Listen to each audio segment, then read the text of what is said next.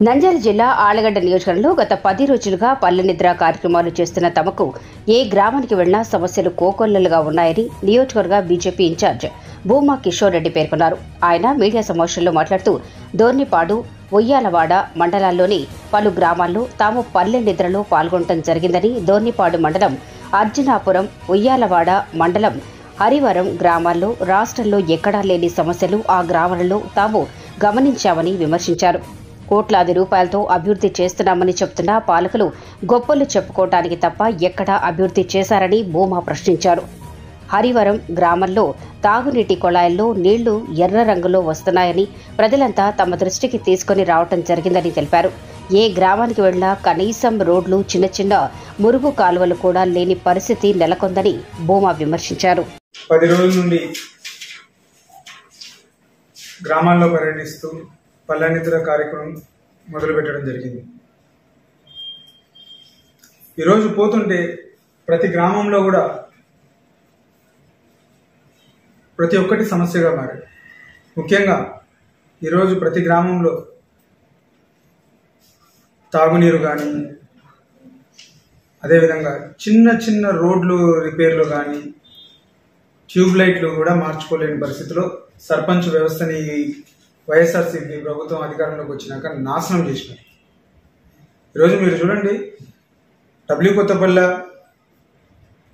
అర్జునాపురము ఈ విలేజెస్ లోపలికి వెళ్తే ఎక్కడ చూసినా అసలు చిన్న కాలువలు కూడా అసలు వర్షాలు పడి కలవట్లు కూడా వేసుకోలేని పరిస్థితులు అంటే ఒక లక్ష రూపాయల వరకు కూడా చేసుకోలేని పరిస్థితిలో సర్పంచ్లు ఉన్నారు.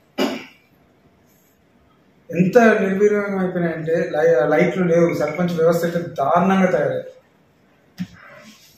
అదేవిధంగా డ్రింకింగ్ వాటర్ చూస్తుంటే ప్రతి గ్రామంలో చాలా ఘోరంగా తయారైంది.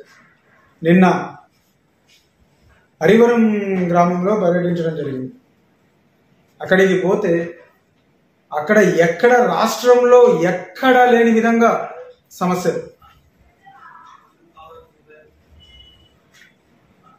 డ్రింకింగ్ వాటర్ అయితే వాటర్ చూడండి కొన్ని వీడియోస్ ఉన్నాయి నా దగ్గర.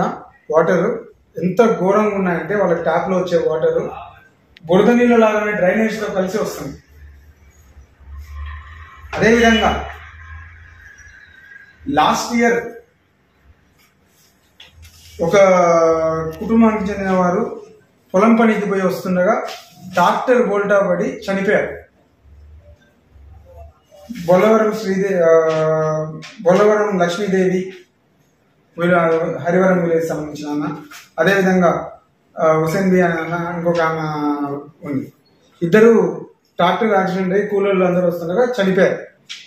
చనిపోతే ట్వంటీ త్రీ ఫైనాన్షియల్ ఇయర్లో చెక్ రిలీజ్ అయ్యి శాంక్షన్ అయింది ఆమెకి. సీఎం రిలీఫ్ ఫండ్ కిందకి రిలీజ్ అయితే ఈరోజు వైఎస్ఆర్సీపీ నాయకులు వాళ్ళ దగ్గర డబ్బులు డిమాండ్ చేస్తూ ఆ చెక్ ఎమ్మెల్యే ఇంట్లో పెట్టుకొని ఎంత దిగజారుడు పని అంటే ఇది. కడుపుకు అన్నం తింటున్న వాళ్ళు చనిపోయి వన్ ఇయర్ అవుతుంది వాళ్ళకి ఫైనాన్షియల్ అసిస్ట్ కింద అసిస్టెన్స్ కింద సీఎం రిలీఫ్ ఫండ్ రిలీజ్ అయితే దాన్ని ఇంట్లో పెట్టుకునే గాతులు కాస్తున్నాడా? ఇంత దారుణంగా ఎలా చేయబోతుంది నాకు అర్థం కావట్లేదు మన ఎమ్మెల్యే గారికి? ఎవరైనా పోయి అడుగుతుంటే వాళ్ళ గ్రామాల్లో లీడర్లను అడుగుతుంటే నువ్వు ఎంత ఇస్తావు చెప్పు మేము మాట్లాడతామన్నాం ఎంత ఇస్తావు చెప్పండి. ఏంది? ఎంత దిగజారిపోయారు వీళ్ళు? అవినీతికి ఎంత దిగజారిపోతే ఎట్లా? ఇష్యూని ఇద్దరితో వదిలిపెట్టాం. దీన్ని ఖచ్చితంగా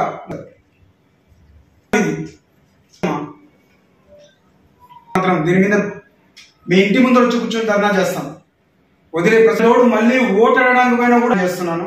లేదంటే ఖచ్చితంగా దీన్ని ముఖ్యమంత్రి దృష్టి తీసుకెళ్తాం అదే విధంగా ధర్నా కూడా కూర్చుంటాం